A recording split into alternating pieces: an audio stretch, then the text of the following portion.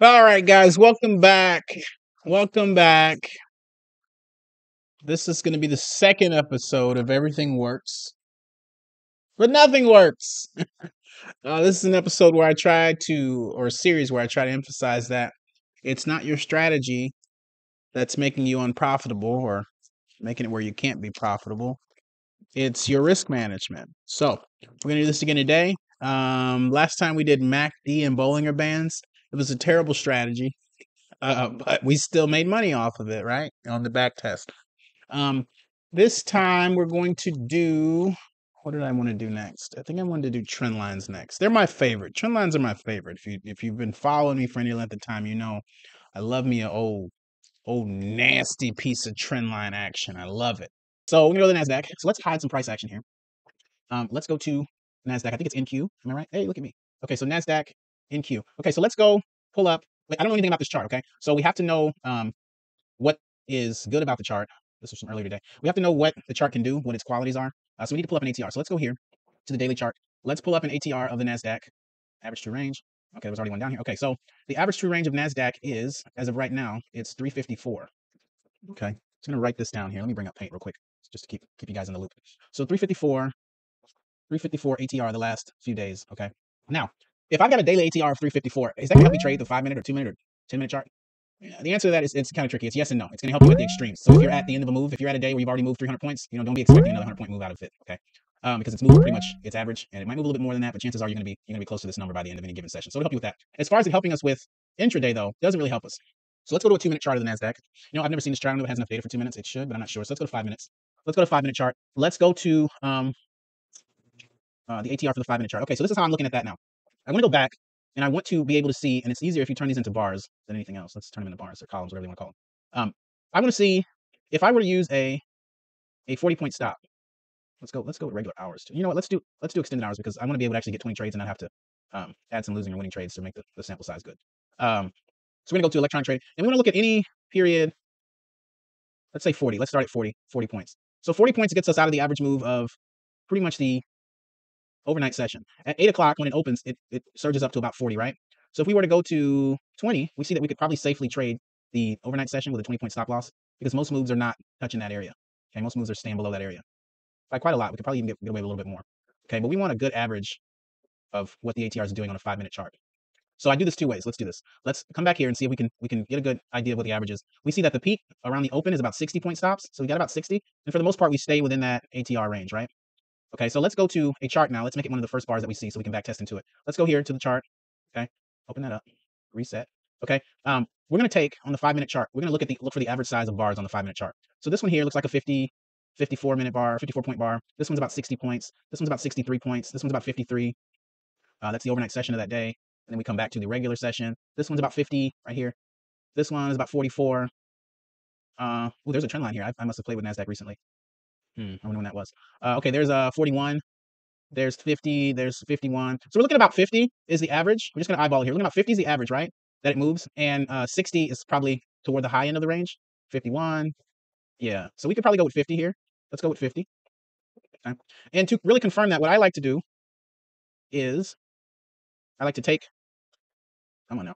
I like to take a stop that's about 50 and I like to just put it over over trades that I could potentially take. So let's go with 50 here.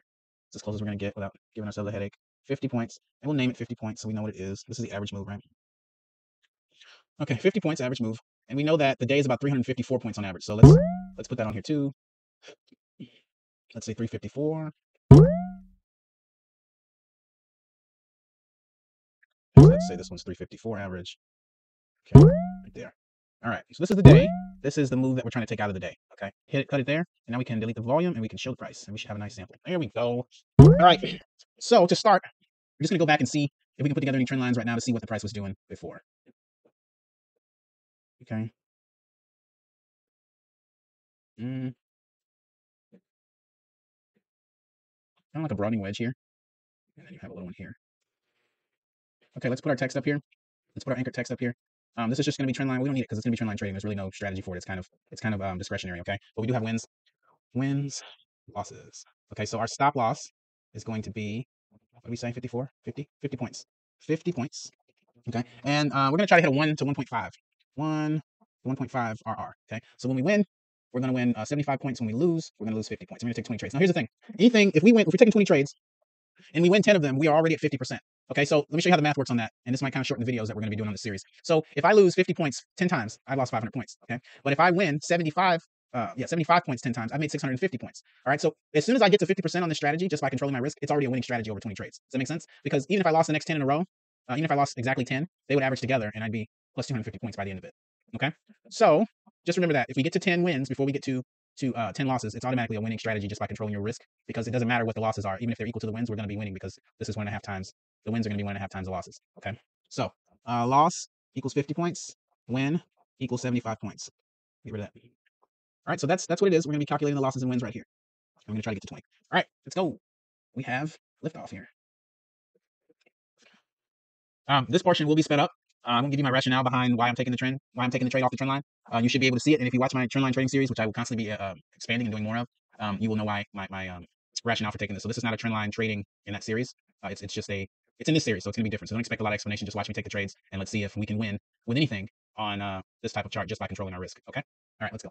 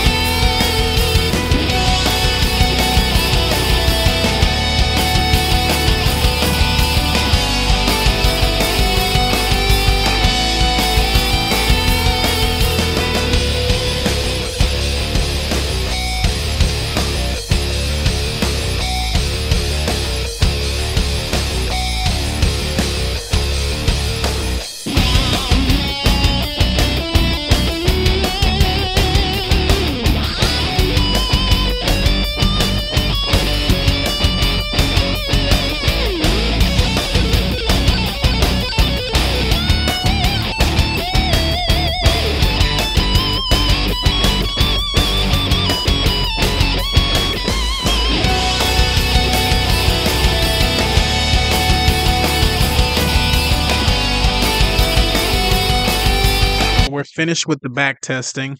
And as you can see, we won 10 and we lost 10. Um, we want a really big one back here. Let's go. This really big one here, we would have held it overnight. Um, I took this because it was a rectangle pattern. And in, uh, in those, you always want to Protected in your front porch. um, you always want to buy high or sell high and buy low. So I kind of cheated because it's not necessarily a trend line. Um, but if you count the bottom of this rectangle, it is a trend line. So it's hard to not let other other uh, price action um, things leak in when you're trying to trade just one strategy because you know a lot about price action. So it's hard not to let it leak into what you're trading, but um yeah. So we're not going to count. So we get a slap on the wrist for taking this trade for buying here because there was no trend line unless you count this low here. You count these lows that span all the way back here.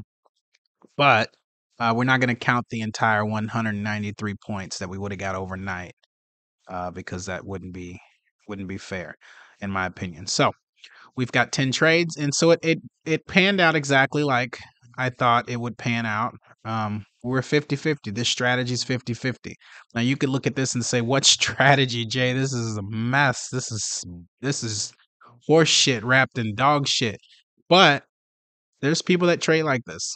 And you see it has a 50% chance of winning. And you see I tried not to delete the boxes so you could see all the trades that I took at the end. 1, 2, 3, 4, 5, 6, 7, 8, 9, 10, 11, 12, 13, 14, 15, 16. So I'm missing I'm missing a couple trades here. I must have didn't copy enough boxes. But anyway, you saw me take 20. If you go back and slow it down, maybe half speed, you'll see all the trades and the reasons why. I tried to take them near trend lines, as I'm always teaching when we're trading with trend lines, there's areas, there's zones. So I tried to take them where there wasn't a lot of space in between the trend line, like right here. I'd call this a lot of space between this lower trend line, but right here, the space is pretty negligible.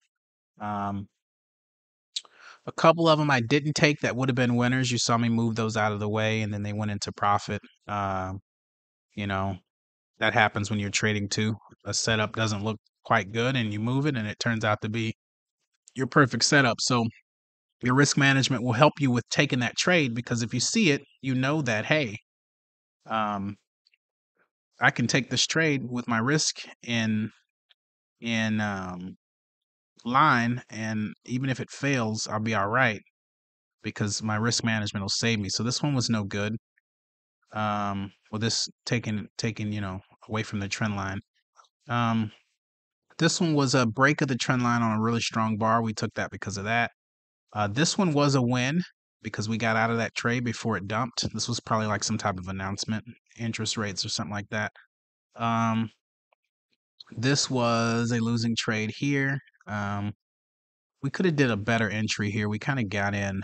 We kind of got in where there was a lot of space right here. Kind of got in with a lot of space. So we were punished for that. That was a loss. Um, we wouldn't have won it anyway, because even if we had gotten in up here near the trend line, well, we might have. What about that? No, we wouldn't have won that anyway. So we just lost that. Um, this one here, this one was a loss also. Um, where did we enter? Looks like we entered. Where was this? Yeah, we entered here on this trend line break. On this trend line, we wanted to stop, and it didn't. It took us out of that one. Uh, this one here was an instant fail. Uh, we did enter. Uh, we could have did a better job of entering near. There's a lot of space between this entry and that trend line. Could have did a better job there. Um, this one here was a failure here. Why did we enter this one? Uh, I think we wanted to enter. I don't even remember. Um, this one here, this was a failure. We were expecting this after this second rejection here, we were expecting this price to be held down and it was not. It did eventually go into profit, I think. Did it? No, it didn't. So we lost that. Lost that no matter how we tried to play it. Um, this one up here. Um, we entered when we broke above this. When we when we started coming for this again, we entered here. That was a profitable one. This was a loss. The reason we entered this one was because this one was a loss. Never be afraid to try a trade idea again if it sets up again. Okay? So it approached it this time. I thought it would break. It didn't. Approached it the second time, broke right through, led to a profitable trade. Uh, this one here, uh, why did we enter this one here? If I'm looking at trend lines here, yeah, I don't know why I went long here. I can't tell you why. Maybe it was I broke up through this and then came back up through it. So maybe it was because it tested it twice. So it, it broke up through it, waiting for a retest, failed retest, came back down to this line. I should have went long here. Had I went long here, would that have helped? Yeah, that would have been a profitable trade. Um, but then it retested, and I thought, okay, it retested, and once it got right here, I thought it was a good trade, so was not. So that's the win rate on that, and it happened just like we said. So we take the 50 that we lost when we traded. Um, we take the 50 that we lost when we lost 10 and we took the 7 75 that we won when we won 10 and we're up it's 750 minus 500 so we're up 250 points i think the nasdaq is 20 per point am i right uh, the dow's 5 the e-mini's 50 i think this is 20 i think this is in the middle of those so 20 per point um that's $5000 on this sample size and here here we know that we started on the 13th so the 13th of September all the way down to all the way down to the 28th of September. So you had 15 days right here. At 15 days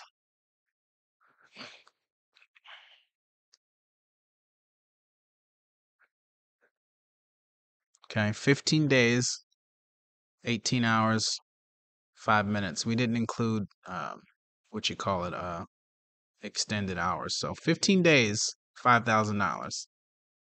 So I think this is a worthy entry to the um, anything works, everything works, nothing works. And I'll see you guys in the next one. We'll probably just do uh, we'll do some VSA in the next one. I expect VSA to be a little bit better than 50-50.